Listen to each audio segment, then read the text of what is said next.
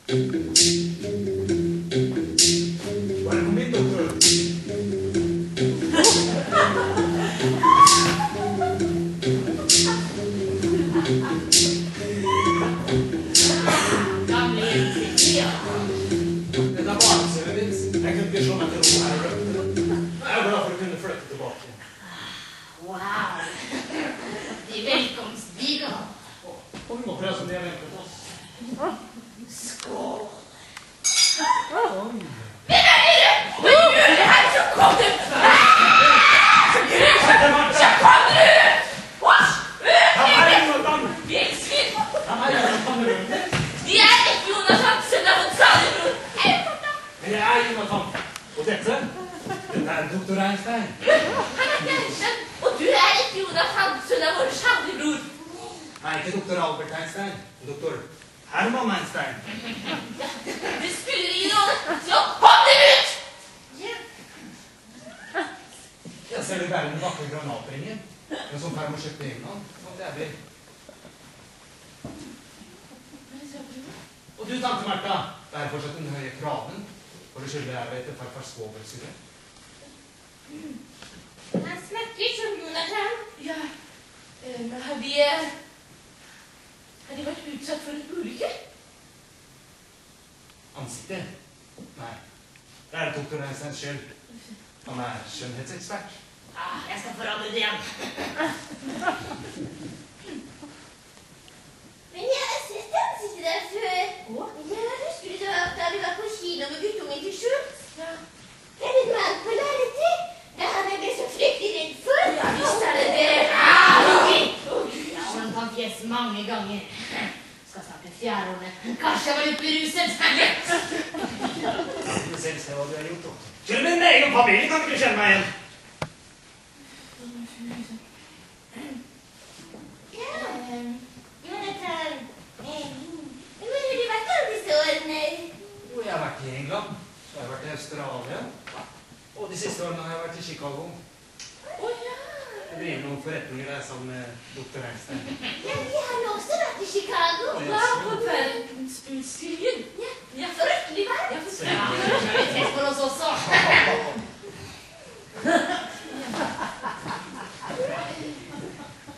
Ja. Det er så deilig å være hjemme.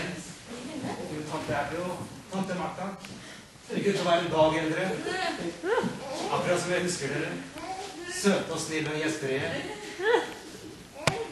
Hvordan går det med bror Teddy? Å jo, takk, han har være bare bra. Ja, ja, og Mortimer også. Ja, vi er meget stolte av Mortimer. Det er Jeg meget. kjenner litt til Mortimer. Så finner han i avisene. Ja, det har du. Ja, det har du nok. Nei, ja, det er godt å være hjemme igjen. Eh, ja, ja vi, vi må ut på kjøkkenet. Neimen, fysj! Vi må ut på kjøkkenet og ordne med, med maten. Steken. Unnskyld oss. Et lite øyeblikk. Charlie! Nå må vi tenke raskt. Hvor går veien videre? Politiet har. Hvor skal vi legge det liket? Vi er pokker i Mrs. Penalso. Vi kan da ikke la et lik bli i baksetet. Hvorfor drepte du egentlig? Han var en hyggelig fyr, spurte om vi ville sitte på. Hva skjedde? Han sa jeg lignet på Frankenstein. Dette er din skyld, Ja, jeg skal jo ordne det. Ja, og det i kveld. Ja, men først må vi få litt mat. Det er så kaputt. Ja, sånn. Eh, eh, Som sagt så var det hyggelig at dere stakk innom for en god dag. Men du har jo aldri likt det her hos oss, Jonathan. Så vi sier vel ganske fort adjø. Adjø, ja. Kjære deg, tante Abby. Jeg vet godt hvordan dere føler det. Jeg har selv angret. Bittert av de strekene jeg gjorde i guttedommen. Ja, du var en prøvelse, Jonathan. Men eh, jeg skuffet på doktor Einsteins vegne. Jeg har nemlig lovet ham at hvis vi kom til Brooklyn sammen, så skulle han nok få smake på tante Martas kokekunst. Å nei, ikke kokekunst. Nei. Nei, nei, jeg, nei, jeg tror